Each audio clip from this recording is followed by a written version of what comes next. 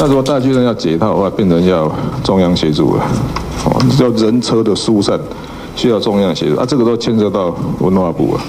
上周四蔡科会科批向小英抱怨文化部卡大巨蛋案连通道，但文化部长郑丽君可不是省油的灯。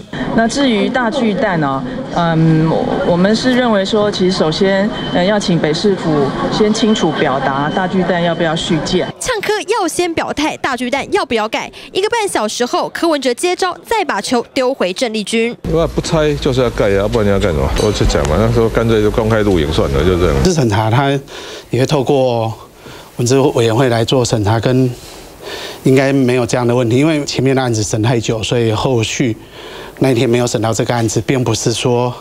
有怎么样互相去卡的问题？把皮球踢回文化部，还扬言公开会议内容。柯文哲炮轰力道不小，不止北市立委补选，绿白分手各推人马。现在绿白暂时和，为了大巨蛋连通道，柯文哲和民进党互杠戏码越演越烈。现在又把这样子的一个后果推给中央。柯文哲，你对大巨蛋的态度到底是什么？你的解决方式到底是什么？哪一个才是真正的柯文哲所讲的话？中央执政的单位文化部主管机关跟你地方政府台北市政府如何和协助？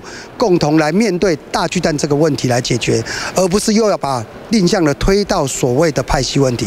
这样子来讲，只是侮辱了你柯文哲自己本身的一个智商。说好选后要为人民着想，但绿白少了互信，大巨蛋案各怀鬼胎，持续政治角力。记者杨世旭、陈心怡台北报道。